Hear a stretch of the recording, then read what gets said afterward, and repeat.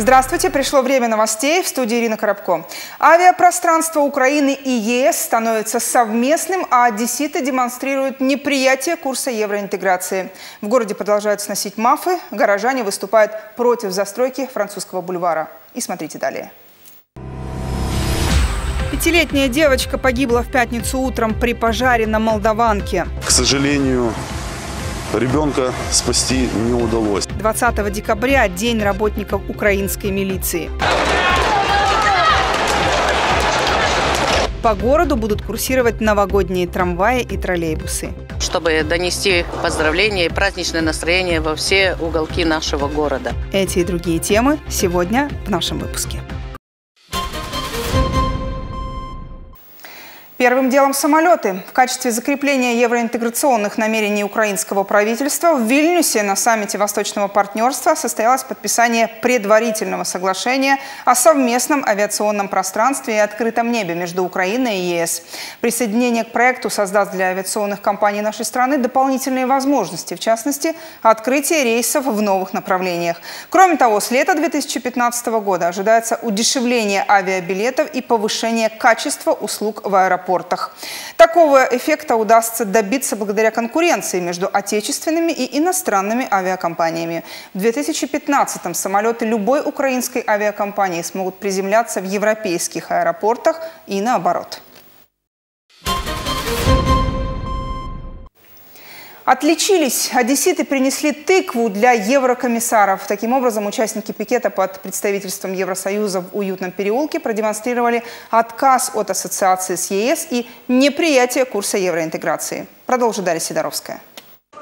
Одесситы не устают развлекать прессу флешмобами. На этот раз они просят еврокомиссаров не вмешиваться во внутриполитические дела Украины. Вы только ошиблись адресом и пришли под здание миссии Евросоюза по оказанию пограничной помощи Молдове и Украине. Скандируя при этом «комиссар, выходи!» так, как будто именно в этом здании сидят те самые европейские комиссары. Тыква – это на Украине всегда был такой ритуал. Когда девушка отказывала парню, она ему подносила тыкву. И он понимал, что это категорическое нет. Вот и мы говорим, категорическое нет. Одесситы недовольны тем, что еврокомиссары посещают киевский Евромайдан. Такой акцией пару десятков горожан намеревались показать, что далеко не все граждане Украины поддерживают антиправительственные выступления в столице и политику сближения с ЕС обращение. Мы, граждане Украины, крайне возмущены длинным носом еврокомиссаров, которые они суют в наши внутриполитические дела. И впредь не потерпим ваших вероломных политических посягательств. Тыкву и обращение никто из представителей Евромиссии участников акции не принял. Поэтому незадачливые митингующие были вынуждены оставить ее на ступеньках. Дарья Сидоровская, Александр Шулятиков, Новая Одесса. Пятилетняя девочка погибла в пятницу утром при пожаре на Молдаванке. Проснувшись от дыма, мать успела вынести сына на улицу, но маленькая Олеся осталась в горящей квартире. Хотя пожарные прибыли быстро, ребенка спасти не удалось. Дарья Сидоровская знает больше. Половине девятого утра поступило сообщение о пожаре на Болгарской. В двухэтажном доме из окна первого этажа вырывалось пламя и шел сильный дым. Обнаружив задымление, 80-летняя бабушка начала звать на помощь. Прохожие вызвали пожарных. Огромное спасибо мальчику Диме, который туда с баллонами с остальными ребятами заходил. Спасибо. Я не знаю, спасли девочку или нет, но спасибо ему огромное за оперативную работу и что не пострадали остальные люди во дворе и дети. Прибывшие через пять минут после вызова спасатели бросились в горящую квартиру, но было уже поздно. Девочка не подавала признаков жизни. К сожалению, ребенка спасти не удалось. На момент прибытия пожарно-спасательных подразделений ребенок погиб. Сложность тушения пожара заключалась в сильном задымлении, высокой температуре, а также загроможденности путей эвакуации. Как выяснилось, в момент пожара в доме находилась мать с двумя детьми, мальчиком двух лет и пятилетней дочерью. Проснувшись от дыма, женщина выбежала с мальчиком на руках. Как случилось, что маленькая Олеся осталась в горящей квартире, выясняет следственно-оперативная группа. Спасатели через 15 минут ликвидировали возгорание домашнего имущества в однокомнатной квартире площадью в 30 квадратных метров. Вовремя обуздав огненную стихию, пожарные не позволили пламени уничтожить весь старинный дом, где находится 19 квартир. В момент пожара в здании находилось около 20 жителей. Соседи оперативно разбудили друг друга и успели выбежать на улицу. Обстоятельства трагического события и причины пожара устанавливаются. Дарья Сидоровская, Новая Одесса. Масонский дом снова пытаются продать. На следующую сессию Одесского облсовета, которая назначена на 24 декабря, уже вынесен вопрос о продаже здания Русского технического общества по адресу Княжеская 1А. Знаменитый архитектурный памятник, который в народе называют масонским домом, был построен еще в XIX веке известным архитектором Александром Бернардаци. На сегодняшний день здание буквально разваливается на части. Эксперты оценили его стоимость в полтора миллиона гривен. И еще порядка 4 миллионов долларов необходимо на реконструкцию. Предыдущие попытки областной власти закончились неудачей. За все время торгов появился лишь один потенциальный покупатель. Но он, по словам главы облсовета, предложил слишком мало – 200 тысяч долларов. Ну а пока чиновники хотят заработать на архитектурном памятнике как можно больше, здание постепенно разрушается. Семь дней в неделю и 24 часа в сутки. В таком режиме работают те, кто призван защищать и следить за соблюдением закона. 20 декабря – День работников украинской милиции. Свой профессиональный праздник отмечают десятки тысяч человек в погонах. На страже чьих интересов стоит сегодня отечественная милиция? В сюжете Валерии Наумовой. Последние события на Евромайдане серьезно ударили по имиджу украинских стражей правопорядка. Кадры разгона сотрудниками спецподразделения «Беркут» участников митинга облетели многие телеканалы мира. Например, эти. Вооруженные дубинками в бронежилетах и касках милиционеры пытаются навести порядок на улицах. Ходе стычки пострадали сотни человек, в том числе и десятки журналистов. Травмы получили сами сотрудники МВД. По данным СМИ, глава ведомства Виктор Пшонко в своем отчете о ночных событиях 30 ноября 2013 года отметил, Беркут превысил свои полномочия только в единичных случаях. Сомнения вызывают действия сотрудников милиции в отношении активистов Одесского Евромайдана. Рано утром 25 октября представители исполнительной службы на глазах милиционеров стали разбирать палатки митингующих. Вони фактично пошматували намети, прапори, все, що було в наметовому містечку. В результате несколько человек оказались задержаны. Причем на каком основании ни одному из них пояснить не смогли, уверяют участники дійства. Тривалий час не могли пояснити, власне, яка мета затримання, яка причина затримання. Через кілька годин пояснили це дрібним хуліганством і супротивом правоохоронним органам. Еще один громкий скандал, связанный с работой милиции, разразился в Одессе в 2011 во время задержания чеченского киллера Аслана Дикаева и его сообщников. План перехвата опасных злоумышленников обернулся трагедией. Два человека погибло, еще четверо получили ранения. Экс-руководители подразделения областной милиции, которых обвинили в служебной халатности и провале операции, предстали перед судом через два года. Суд вынес приговор как раз накануне их профессионального праздника. Один получил срок условно, второго полностью оправдали Пока будут такие суды, и пока будет такое руководство в виде, не знаю, обвиняемые, они уже не обвиняемые, вот так будут ребята гибнуть за какого-то тупого приказа і виходу з цього ніколи не буде. Прокуратура безумовно не погоджується з вказаним вироком і буде писатися апеляція. Вже підгот... ну, вона вже готується. А это событие в ночь на 23 октября нынешнего года во время штурма здания областной милиции после задержания бывшего народного депутата Игоря Маркова. Сотрудники правоохранительных органов, вооруженные дубинками, и бойцы спецподразделения «Беркут» в полной амуниции против рядовых граждан. Комментарий излишний. Сегодня многие говорят о том, что систему правоохранительных органов необходимо реформировать. И начинать нужно с чистки кадров. Еще протягом останніх років міліція повністю вичищена від тих, хто хотів би працювати на правопорядок. Всі, хто з цим погодився, мають і особистий, і службовий. Всі, хто не погодився, відправлені на пенсію. Необходимо сокращать и количество самих сотрудников. На 100 тысяч человек в Украине приходится почти 800 стражей правопорядка. Для сравнения, в странах Европы их в два раза меньше. Уменьшение личного состава наряду с демилитаризацией этой сферы рекомендовал Украине и Евросоюз. Ну, я думаю, що як і в податковій міліції, вони просто стали бандугрупуваннями, які на сьогоднішній день можуть а, фабрикувати справи, насилувати, приміняти тортури. Правда, о стандартах ЕС в нашей стране можно пока только говорить. Валерия Наумова, Новая Одесса. Одесситы выступают против нового детального плана застройки территории в районе французского бульвара, улиц Азарова и Морской. Они уверены, это исторический центр. Здесь не просто нельзя строить, а даже опасно, ведь зона прибрежная, потому возможны сильные оползни. Дарья Сидоровская продолжит тему. Угол улиц Азарова и Морской. В соответствии с новым детальным планом территорий, за этим забором может вскоре появиться многоэтажка. Одесситы взволнованы. Во-первых, это исторический центр, а во-вторых, поблизости склоны. Жители боятся повторения оползней 54 года. Это было страшно, понимаете? Поэтому, имея вот этот опыт, и мы боимся, что мы станем заложниками этого дома, и что все это может сползти. Потому что зона э, оползневая, она у нас идет вдоль всего побережья, но в этом районе она выходит на верхнюю террасу. Светлана демонстрирует паспорт с пропиской в доме номер 6 по улице Азарова. Ее семья, состоящая из пяти человек, так и не получила обещанного жилья от застройщика. Разрушив дом, он исчез. Э, фирма-застройщик перекрыла, нам вход и выход, нарушила все, что можно было нарушить. Канализацию, стены, несущие стены, воду, свет. Э, фашистскими методами обошлась с нами. При этом Градсовет, прошедший 18 декабря, зная, что еще не все отселены, одобряет проект на застройку территории. Дарья Сидоровская, Александр Шулятиков, Новая Одесса.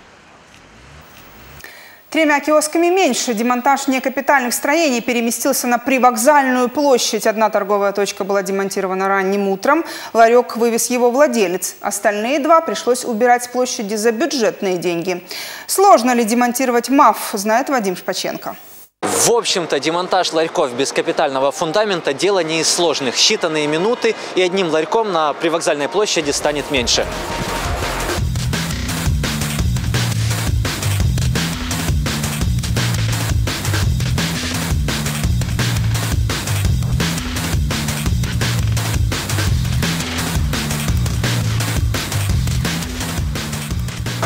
Стоп. Тросы от этого ларька уже отцепили. И объект, который стоял тут многие годы, увозят буквально за пять минут. Женщину, которая трудилась реализатором в этом ларьке, не интересует, сколько длился демонтаж. Она осталась без работы. Если он остается без работы, в таком возрасте. Вы много а. проработали? Много. На следующей неделе без работы останется и этот торговец шаурмой. Сани Саид – палестинец. Он хвастается чистым рабочим местом и уверяет, что любит готовить для одесситов. Я здесь работаю, и у меня ребенок должен ему кормить, и за квартиру надо заплатить. Мы так остаемся на улице. Впрочем, процесс демонтажа сразу трех ларьков, которые в свое время заняли место зеленой зоны, прохожие поддерживают, а некоторые даже останавливаются понаблюдать. А вот некапитальные объекты, которые появились на привокзальной площади не больше года назад, имеют, кроме самого настоящего капитального фундамента, еще и настоящих собственников со всеми правами. Поэтому пока город не предложит им альтернативное место расположения своих торговых точек, отсюда они никуда не денутся и нам приходится вести достаточно сложные переговоры с собственниками этого объекта для того, чтобы дать им нечто взамен в другом районе города, и этот объект будет демонтироваться в последнюю очередь. Некапитальные строения убирают с привокзальной площади согласно недавнему решению городского совета. Причем делают это в долг. К концу года казначейство прекратило финансирование. Задолженность свыше 30 тысяч гривен. И мы большими трудностями сегодня уговариваем собственников эвакуаторов предоставлять нам эту технику для проведения демонтажных работ. По плану, помимо Макдональдса, на привокзальной площади останется всего два торговых объекта. Оба на остановках. Вадим Шпаченко, Олег Шпак, Новая Одесса. С 20 по 23 декабря в Одессе в связи с ремонтом дороги будет частично изменено движение автотранспорта на углу улиц Черноморского казачества и Николая Гефта. Они коснутся в том числе и всего общественного транспорта, идущего на поселок Котовского, за исключением трамваев. В объезд от улицы Черноморского казачества через Красный сквер и вновь на Черноморского казачества поедет 25 маршруток. И среди приятных бонусов электротранспорта отсутствие зависимости от ремонта дорог и пробок. А с сегодняшнего дня для поднятия праздничного настроения по городу начали курсировать новогодние трамваи и троллейбусы. Как они выглядят, покажет Ксения Ноздрова.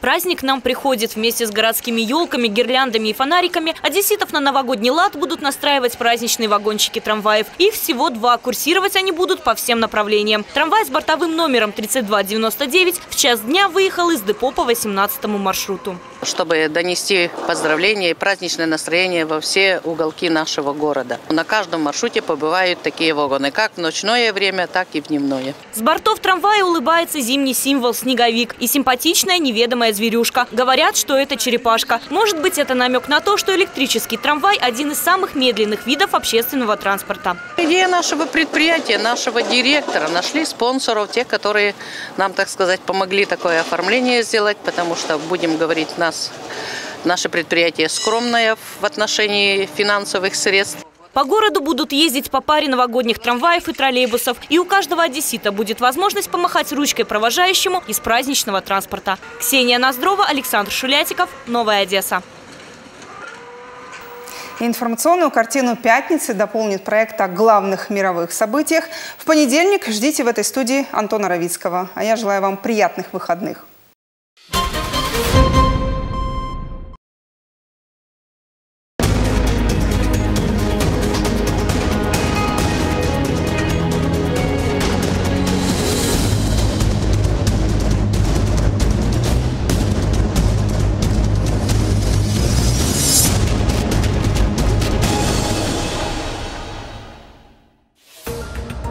Президент России Владимир Путин в пятницу, руководствуясь принципами гуманности, подписал указ о помиловании Ходорковского Михаила Борисовича, 1963 года рождения. Указ вступил в силу немедленно, и уже спустя несколько часов политический заключенный номер один, как называют Ходорковского правозащитники, покинул колонию в Сегеже, где отбывал наказание. По последним данным, он отправился в Германию, где проходит курс лечения его мать. Если бы не указ о помиловании, Михаил Ходорковский должен был выйти на свободу только в августе 2014 -го. 25 октября 2013 года исполнилось ровно 10 лет с момента ареста Ходорковского в аэропорту Новосибирска.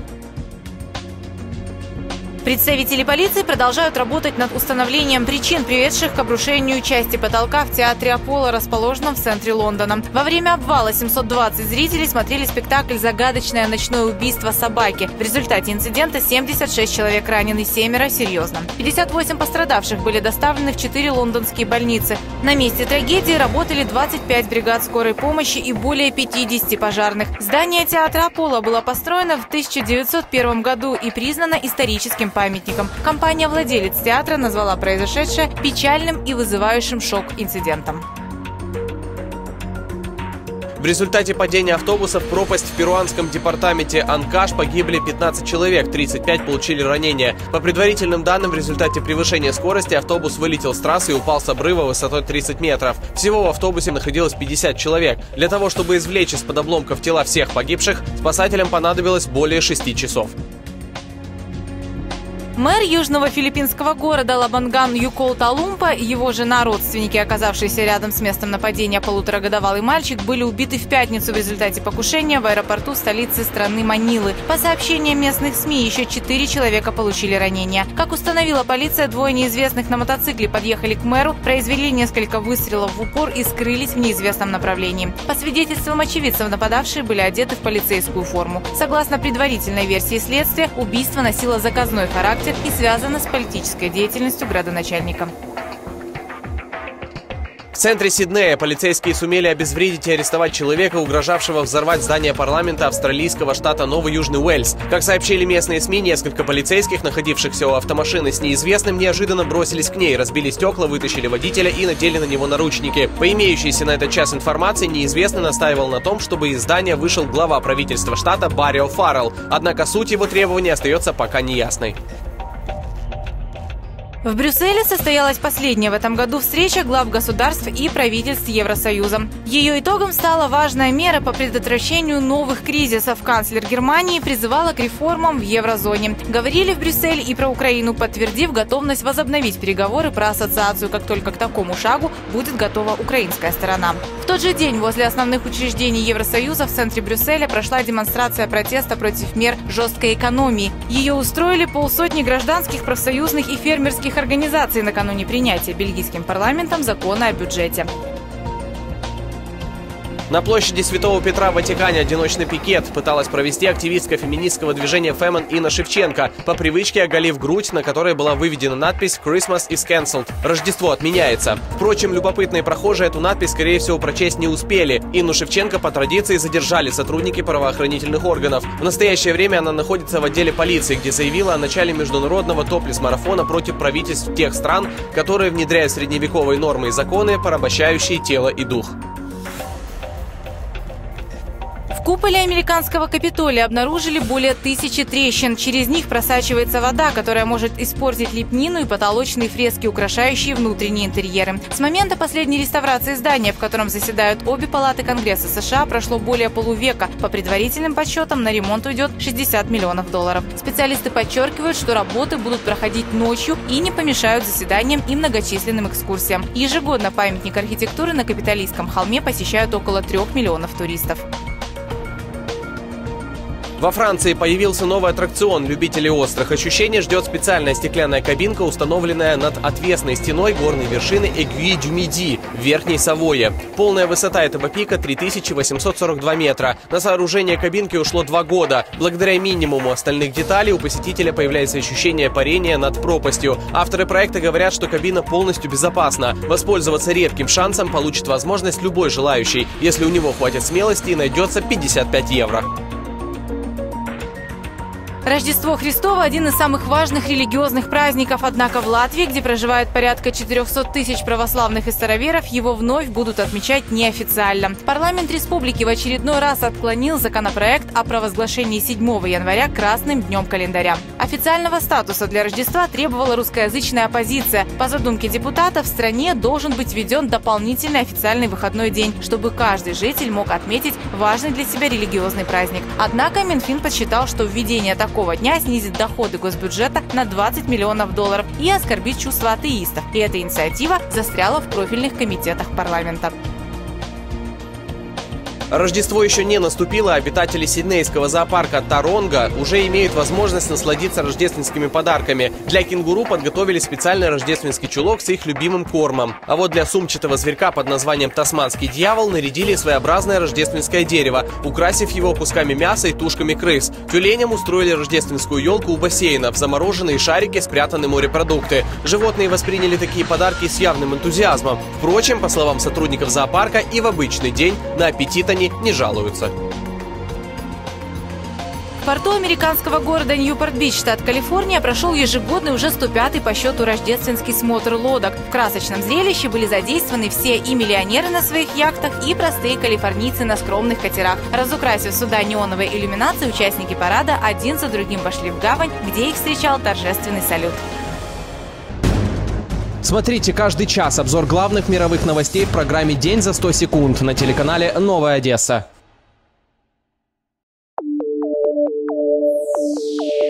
Прогноз погоди від страхової компанії Теком.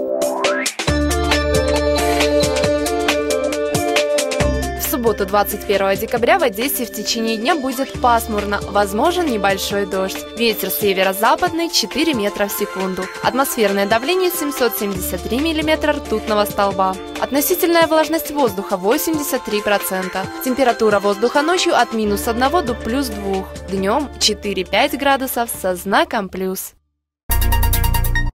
Это Сергей Петрович, и он очень любит свой старый автомобиль, который подарил дочери. А это дочь Сергея Петровича Лена, и она хочет научиться водить. Сергей Петрович застраховал свою машину с помощью нового полиса «Мини-каска», потратив при этом всего 900 гривен. Новый полис «Мини-каска» от страховой компании «Теком» для старых автомобилей по цене автогражданки. Страховая компания «Теком». Уверенность в квадрате. 719 05 55.